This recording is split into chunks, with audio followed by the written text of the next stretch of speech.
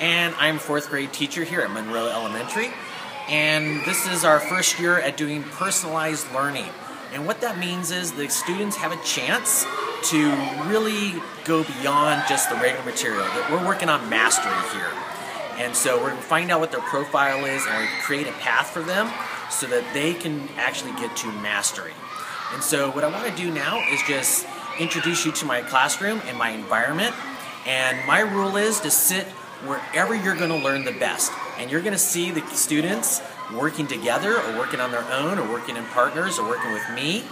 And uh, that's one of the first steps of personalized learning is trying to get them comfortable to know where they're supposed to go as well as go beyond that and get to mastery. So come on in, let's take a look.